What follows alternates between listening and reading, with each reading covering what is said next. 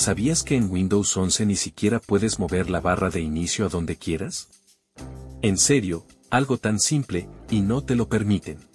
Y eso sin hablar de las restricciones visuales, los cambios forzados de interfaz o los menús llenos de publicidad. Muchos usuarios sienten que, en lugar de tener el control, están atrapados en cómo Microsoft quiere que uses tu computadora. Por eso hoy te voy a mostrar KDE Plasma, un entorno de escritorio para Linux que sí te deja elegir. Dónde poner la barra, cómo se ve, qué funciones tiene, y mucho más. Si vienes de Windows o simplemente estás buscando una forma de personalizar tu escritorio sin límites, KDE te va a encantar. En el video anterior comparamos GNOME y KDE cara a cara. Y si estás viendo este contenido, probablemente te llamó la atención la libertad que ofrece KDE. Pero claro, con tanta libertad vienen muchas decisiones. Así que hoy vamos a recorrer paso a paso cómo personalizar KDE Plasma desde cero, sin complicarte la vida. Vamos a usar solo las herramientas que ya vienen integradas. Sin abrir la terminal, sin instalar nada adicional. KDE Plasma es uno de los entornos más completos del ecosistema Linux. A diferencia de otros, aquí puedes cambiar prácticamente todo, apariencia, comportamiento, animaciones, accesos, y mucho más. Y eso no solo es útil, es divertido. Porque KDE no te impone una forma de trabajar, sino que te da el control total. A lo largo de este video vas a ver ejemplos reales de personalización, desde cosas básicas hasta detalles visuales más avanzados. La idea no es copiar a otros sistemas, sino crear algo que sea realmente tuyo. Aquí tenemos KDE 6, que al momento de grabar este video, es la última versión disponible. Así es como se ve justo después de instalarlo. Pero prepárate, porque lo que estás a punto de ver no tiene nada de estándar. Vamos a llevar este escritorio a otro nivel, y ahora mismo te muestro cómo hacerlo. Cambiar el fondo en KDE es muy fácil, solo haces clic derecho en el escritorio y eliges una imagen. También puedes activar el modo presentación para que el fondo cambie solo usando varias imágenes. Simple, pero bastante completo. Ahora pasemos al tema global, y aquí es donde empieza lo interesante. Vamos a hacer lo que algunos considerarían un sacrilegio retro, darle al escritorio la apariencia de Windows 7 en Linux. Así es. Si haces clic derecho sobre el panel inferior, puedes editarlo fácilmente. Puedes ajustar su tamaño, moverlo, o incluso también, eliminar el escritorio virtual, y ya tienes un escritorio personalizado a tu gusto. Y así es como queda, impresionante ¿no? Y si quieres ir más allá, también puedes recrear la apariencia de Windows XP, pero con un escritorio moderno, rápido, estable y sin virus. Una mezcla perfecta entre lo clásico y lo funcional. ¿Prefieres algo más retro? Windows 98 también es posible. ¿O algo más reciente como Windows 10? Sin problema, KDE Plasma lo permite sin complicaciones. ¿Y cómo se hace? Es más fácil de lo que parece. Dentro de la sección de tema global, encontrarás una galería de temas visuales. Algunos imitan otros sistemas como macOS o versiones antiguas de Windows, mientras que muchos otros son diseños completamente originales.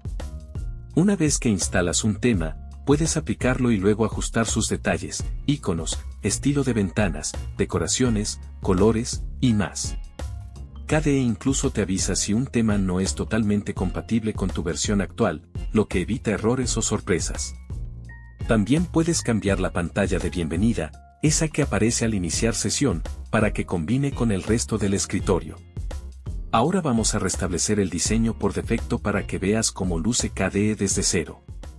Observa el menú de inicio. Si haces clic derecho sobre él, puedes elegir entre diferentes estilos. Uno de ellos es muy parecido al menú clásico de GNOME. Y si configuras los bordes de pantalla, puedes lograr una experiencia todavía más parecida. Por ejemplo, al mover el cursor a una esquina, se puede activar la vista de actividades, igual que en GNOME. Esto se configura en la sección bordes de pantalla dentro del panel de configuración y allí puedes elegir qué acción se activa en cada borde. También hay una sección dedicada a los efectos de escritorio, donde puedes activar animaciones y transiciones visuales. Puedes, Por ejemplo, hacer que una ventana explote al cerrarla, o buscar nuevos efectos de forma similar a como buscas temas visuales. Volvamos al panel inferior, porque también es totalmente modificable. Puedes darle el aspecto de Windows clásico o algo mucho más moderno. Aquí lo dejamos por ejemplo como se veía en los Windows anteriores. Al hacer clic en preferencias del panel, se abre un menú donde puedes personalizar varios aspectos, puedes cambiar su posición en la pantalla, ajustar la alineación, modificar la anchura y definir si quieres que esté siempre visible, sea flotante o se oculte automáticamente. También puedes ajustar la altura del panel, hacer que sea más o menos transparente, y si algo no te convence, puedes eliminarlo o clonarlo con un clic. Y lo mejor, puedes experimentar sin miedo, ya que siempre puedes volver a dejarlo como al principio. También puedes agregar lo que KDE llama elementos gráficos, como widgets o pequeños complementos. Hay relojes con diferentes diseños, monitores de sistema, controladores multimedia, indicadores de batería, accesos directos a carpetas, y mucho más. Mira cómo se puede cambiar el estilo del reloj, ajustar el monitor de memoria o eliminar cualquiera de ellos en un solo clic. Así de simple y directo. Y no solo eso, también se pueden redimensionar, cuando termines, solo haces clic en salir de modo edición, y listo. Incluso puedes añadir un controlador multimedia. Abres un video en YouTube y puedes pausar, adelantar o controlar el volumen directamente desde el panel, sin tocar el navegador. Y si tu computadora es más antigua o tiene pocos recursos, puedes desactivar el compositor gráfico. Esto elimina los efectos visuales y mejora el rendimiento sin afectar la funcionalidad. Después de aplicar todas estas herramientas, el panel queda totalmente personalizado. Y sí, incluso puedes hacer que KDE se vea prácticamente igual a GNOME. Así es, en KDE no hay límites predefinidos. El único límite real es tu creatividad. Puedes mover, modificar y controlar cada elemento de tu escritorio como tú quieras. Y lo mejor, todo se hace con las herramientas que ya vienen incluidas. Así de fácil. Además de lo básico, KDE incluye una cantidad abrumadora de funciones avanzadas que pueden mejorar muchísimo tu experiencia. Podría hacer un video de horas solo para mostrarte todo lo que KDE tiene para ofrecer. Y para algunas personas, eso es una bendición, para otras, casi una maldición. No me malinterpretes, puedes usar KDE tal como viene por defecto y estar perfectamente bien. Pero la tentación de modificar cada rincón está siempre presente. Por eso, muchas personas que buscan algo más simple prefieren entornos más minimalistas, sin tantas opciones. ¿Es un argumento ridículo? Tal vez sí, tal vez no. Pero eso es justamente lo que hace grande al ecosistema Linux, la elección. KDE es una de las opciones más completas, pero no la única. Si prefieres algo más simple, ligero o directo, también existen alternativas como XFCE, Mate, Cinnamon, Budgie o incluso el propio Gnome.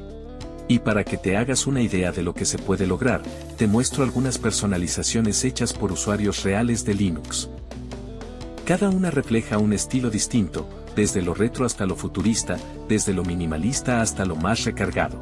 Si te interesa que hable más a fondo sobre alguno de estos entornos de escritorio, déjamelo en los comentarios.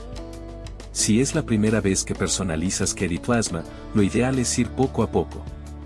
Comienza modificando un panel o cambiando el tema visual. Explora las opciones que vienen incluidas y prueba cómo se comporta tu sistema antes de agregar muchas cosas al mismo tiempo.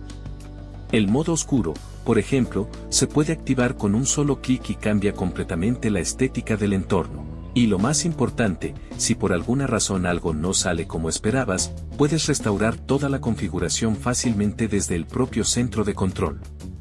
No necesitas reinstalar el sistema ni tocar la terminal.